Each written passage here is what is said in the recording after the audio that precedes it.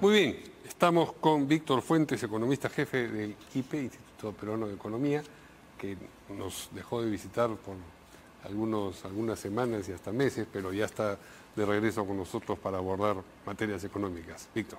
Buenas noches, Mario. Qué gusto volver a estar en el programa. Igualmente. Vamos a hablar de sueldo mínimo o remuneración mínima vital, porque el ministro de Trabajo ha entrado nuevamente en esto este discurso ambiguo de decir hay un compromiso, pero esto lo tiene que decidir el Consejo del Trabajo. Y claro, antes no podíamos porque estábamos en recesión y parece que se viene un año auspicioso, de acuerdo al discurso del ministro de Trabajo, por lo menos en materia económica. Sí, digamos, estos eh, vaivenes en los discursos, eh, eh, digamos, calzan dentro de la figura del manejo político que se le ha dado a la, RMB. Históricamente. Históricamente. de los últimos 14 eh, aumentos que han habido en la RMB, 12 se han dado en un contexto, eh, digamos, de elecciones políticas o de baja aprobación presidencial. Entonces, digamos, abona muy poco a favor de la institucionalidad, eh, digamos, en favor de esa predictibilidad que debería tener los incrementos de la RMB bajo estas reglas claras para todos, trabajadores, empleadores, el propio Estado, ¿no?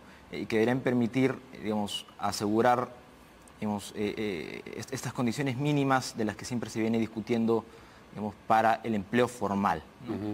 Eh, digamos, pero al, margen de eso, digamos, no debemos perder de vista dos puntos. El primero es que toda esta discusión sobre el RMB digamos, tiene muy pocos beneficios, beneficiarios, particularmente en el IPE calculamos que son 2% los que podrían verse directamente beneficiados. ¿De la población económicamente activa? ¿2% de qué? 2% de la fuerza laboral, sí. ¿De la fuerza laboral? Sí. Eh, eh, eh, y, digamos, deja por completo desprotegido cualquier discusión sobre la RMB ¿no?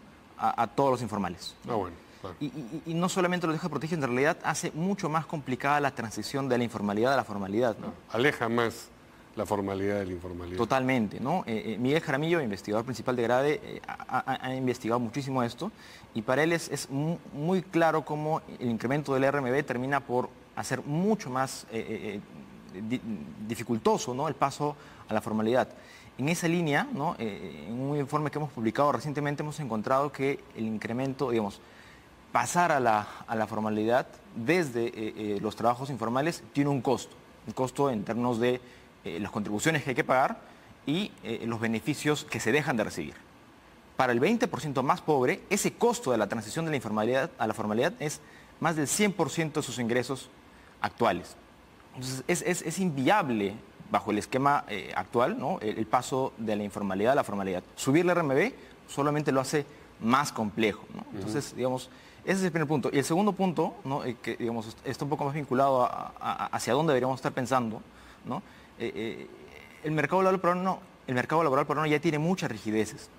Incrementar la RMB solamente digamos, abona en esa línea eh, y hace mucho más complicado el paso a la formalidad, pero también está muy vinculado a cómo hacemos para ser más productivos.